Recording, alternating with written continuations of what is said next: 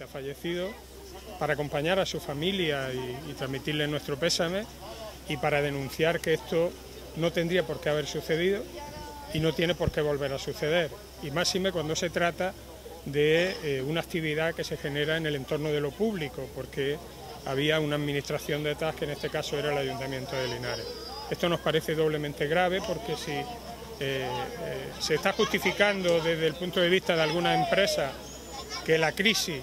es motivo para irlo desmantelando todo. Y estamos luchando permanentemente porque eso no sea así, quien no puede entrar en esa dinámica es una administración pública en ese sentido denunciamos, e insisto, que el Ayuntamiento de Linares no ha eh, facilitado todavía, todavía ninguna información que tengamos constancia al Comité de Seguridad y Salud del Ayuntamiento, de tal forma que no sabemos oficialmente qué opina el Ayuntamiento, qué opinan sus técnicos, ni siquiera a la Comisión Provincial de Riesgos Laborales se ha trasladado información sobre este siniestro. Esto nos parece muy grave, muy grave porque eh, por la información que tenemos desde el sindicato, eh, una caída a distinto nivel, se produce por ausencia de medidas preventivas, es algo perfectamente evitable, no es achacable a la mala fortuna, a la mala suerte ni a, ninguna otra casuística,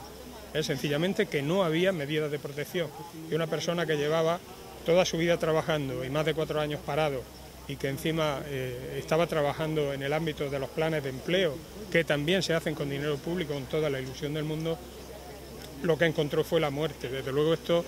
nos, tiene desolados por la muerte de una persona, que siempre es una tragedia, pero sobre todo por la frialdad que ha demostrado el, Ayuntamiento de Linares, que en ningún momento, como digo, eh, nos ha facilitado a la representación legal de los trabajadores información para que podamos evaluar con más detalle qué es lo que sucedió y, poder poner las medidas correctoras, que es para lo que existen los mecanismos de intervención, para que no vuelva a suceder algo así. Familia Natalio, a sus compañeros eh, el apoyo del sindicato el día que, bueno, que, es triste puesto que ha fallecido una vez más un trabajador realizando pues lo que hay que hacer para vivir, es trabajar, ¿no? Eh, nuevamente creemos que ha habido un incumplimiento fragante de la ley de prevención de, riesgos laborales, pero lo presuponemos, puesto que no tenemos constatación todavía eh, oficial de las causas ni qué iniciativas se han eh, tomado para esclarecer, como digo, las consecuencias, bueno, las consecuencias las sabemos, el proceso de, este nuevo accidente laboral, ¿no? Eh, venimos reclamando en la Comisión Provincial eh, que se nos dé las explicaciones oportunas y creemos que se deben de depurar lógicamente las responsabilidades a las que hubiera hubiera lugar. ¿no? Venimos reclamando UGT y comisiones obreras eh, que la ley de prevención se viene incumpliendo de forma reiterada, aprovechando la crisis económica por la que estamos aprovechando desde el, ámbito principalmente privado, pero lo grave es que desde el ámbito público también tenemos eh, pues bueno, casos eh, graves de, infracciones a esta, a esta ley, ¿no? porque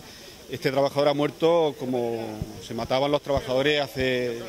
200, 500 años, ¿no? Una caída en altura que era muy fácil de, evitar si hubiese tomado las medidas tan, tan difíciles de ponerse un arnés de, sujeción, ¿no? Por tanto, reclamamos hoy aquí, en, Linares, delante del ayuntamiento, esclarecimiento constante de de cómo se ha producido este, este accidente y que se tomen las medidas oportunas para, primero, que no vuelva eh, a producirse y también para que se tomen eh, la responsabilidad de que hubiera lugar.